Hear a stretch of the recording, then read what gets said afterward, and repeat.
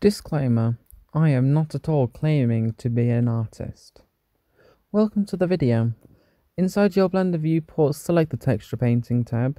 Look at the menu to the right. It will say No Texture. Press the plus button and select the base colour. I'd recommend changing the resolution to 2048. Now choose your base colour.